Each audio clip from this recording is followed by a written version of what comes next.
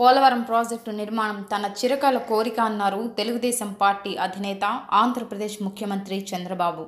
పోలవరం పనులను పరిశీలించిన అనంతరం ఆయన మీడియాతో మాట్లాడారు. కాఫర్ డ్యాంలో యాభై రెండు శాతం పని పూర్తయిందన్నారు. డయాఫ్రమ్ వాల్ వంద శాతం పూర్తి చేశామన్నారు.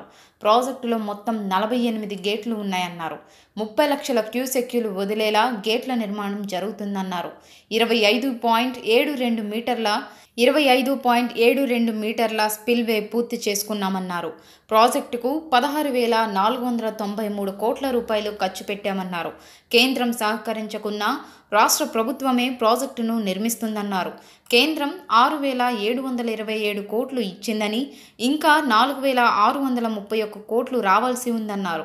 పోలవరంపై తొంభై సమీక్షలు జరిపానని ముప్పై సార్లు క్షేత్రస్థాయిలో పర్యటించానన్నారు సీఎం. నలభై లక్షల ఎకరాలకు సాగునీరు ఇచ్చే అవకాశం ఉంటుందన్నారు ఆయన. తొమ్మిది వందల ఎనభై మెగావాట్ల విద్యుత్ ఉత్పత్తికి అవకాశం ఉంటుందని వివరించారు సీఎం చంద్రబాబు. చాలా ఫాస్ట్ ఫెసిలిటీ చేశారు. స్పిల్వే కూడా రికార్డ్ టైంలో చేశారు.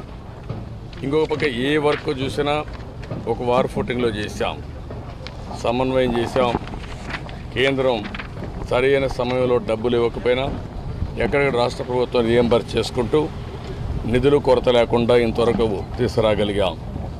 ఈరోజు ఈ ప్రాజెక్టులో మనం చూస్తే ఈ సీజన్లో రెండు కాఫర్ డ్యాములు పూర్తయిపోతాయి.